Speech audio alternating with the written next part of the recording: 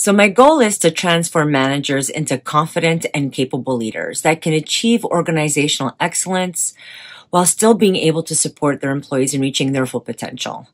I really believe that managers are the linchpin to an organization's success. Yet when we get promoted into managerial positions, we have to figure out on our own how to do the job.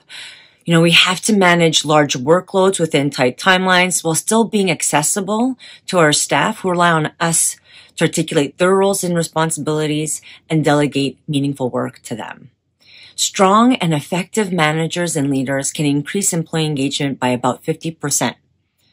And an employee who's more engaged is about 30% more productive than somebody who goes to work just for a paycheck. But yet there's not a lot of support in learning how to become a competent manager and a confident leader. When I became a manager, I felt like I was drinking out of a fire hose. It was really trial and error. And to be honest, there was more error than trial.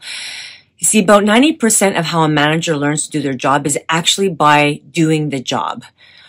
The other 10% comes from courses, but still organizations spend billions of dollars on leadership development that rely primarily through formal courses and training.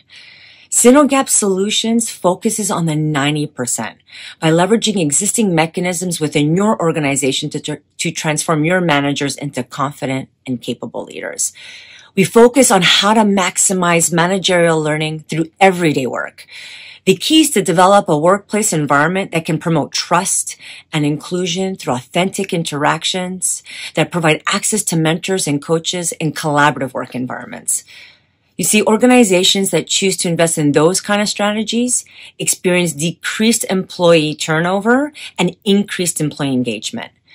This results in a workforce that is agile, resilient, and healthy.